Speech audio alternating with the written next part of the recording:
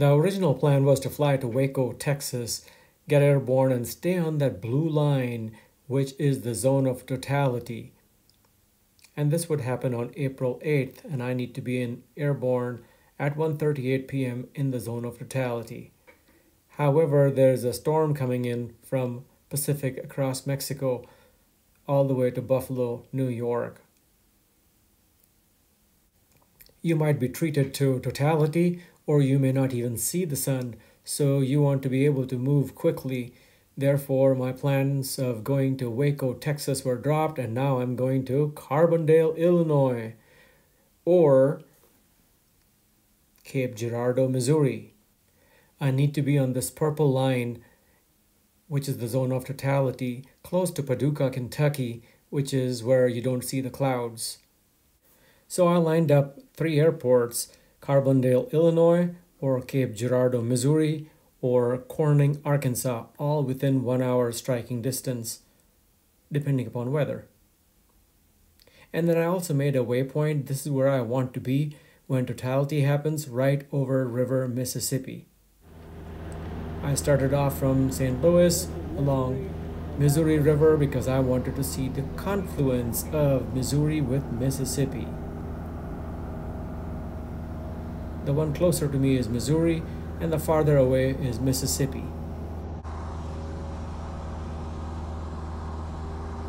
And that side of Mississippi is Illinois, and this side is the state of Missouri. And now you're beginning to see the mixing of the waters. Not quite as dramatic as you would see in the Amazon. Missouri on the left, Mississippi on the right. And from this point on, it will be called Mississippi River.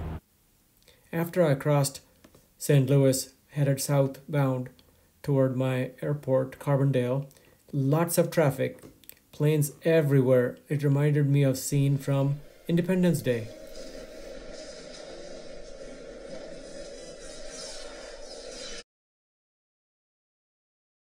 Sometimes traffic was so close, this plane is only a thousand feet above me, only one mile behind me. I could not see him. Look at the road traffic. Everyone is driving one way to Carbondale, Illinois for the eclipse. Carbondale Airport was full, so I went to Pinckneyville Airport instead to refuel. This airport already had some airplanes, even though it's a small field. After refueling, saying goodbye to this friend from Wisconsin and to this friend from Sacramento who came on his Cessna Citation 5, I gave him my tripod because he needed it more than me.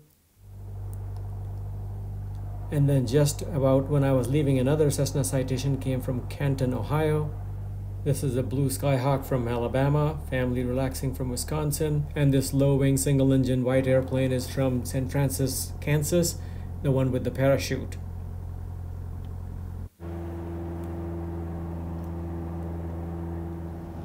Now I'm headed in a southwesterly direction in the line of eclipse. It should be coming my way, but I don't see any signs of it.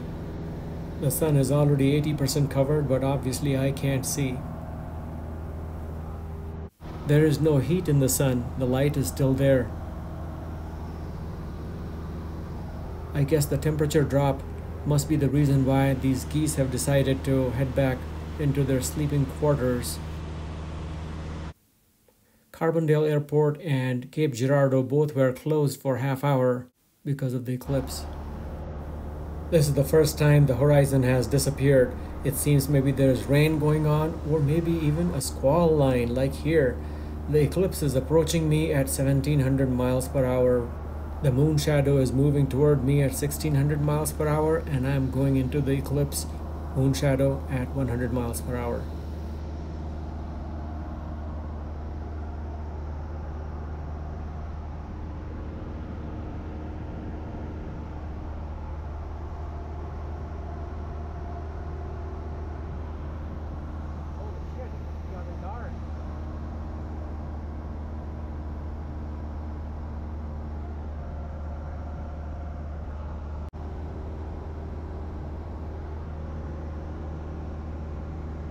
The moon shadow cast on Earth is 115, 115 miles wide, so you might not be able to see your hand or read anything in front of you and the skies above might be dark, but the horizon always has some light.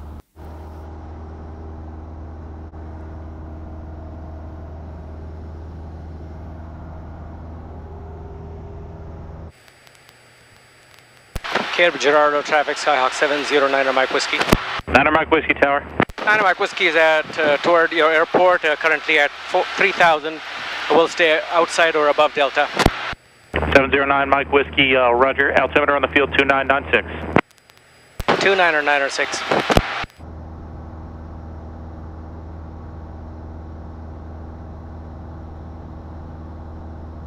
In just 10 more seconds, it will all be over.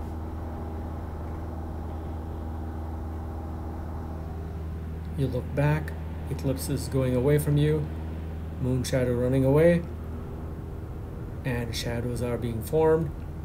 Eclipse is over. Look at the sun now.